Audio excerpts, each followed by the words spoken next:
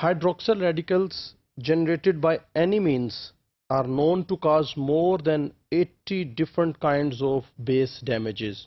There are 80 different ways by which these hydroxyl radicals can damage DNA bases. Two of the oxidized base products are 8-oxoguanine which is called oxo-G and thymine glycol. 8-oxoguanine can base pair with adenine or cytosine.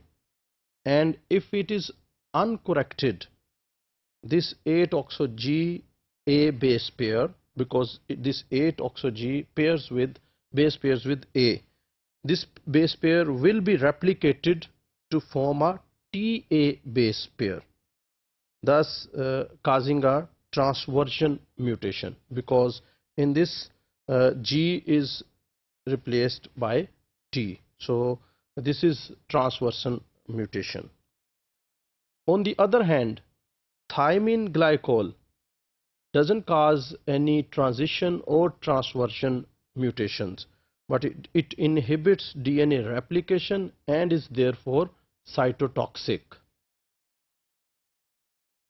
Hydroxyl radicals produced by the Fenton reaction are tend to be more widely dispersed than those produced by ionizing radiations and therefore they are much less likely to produce double-stranded breaks because they are uh, more dispersed they are less concentrated so they don't cause double-stranded breaks. While in case of uh, the hydroxyl radicals produced by uh, ionizing radiations they are more concentrated and they cause double-stranded breaks.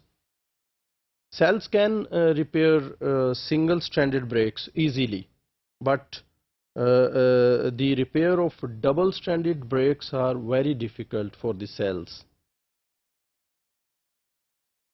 Reactive oxygen species can also convert various biomolecules which are otherwise unreactive into reactive species that can damage DNA. So many biomolecules which are not reactive and uh, uh, which cannot damage DNA but these reactive oxygen species can convert those biomolecules to reactive species. So those biomolecules can also damage DNA.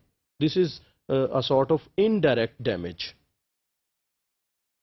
For example, polyunsaturated fatty acid oxidation produces two aldehyde products and these are malondialdehyde and 4-hydroxynonenal which contribute to base damage. So in this way these biomolecules which were otherwise uh, uh, not damaging the DNA they can damage DNA and cause mutations.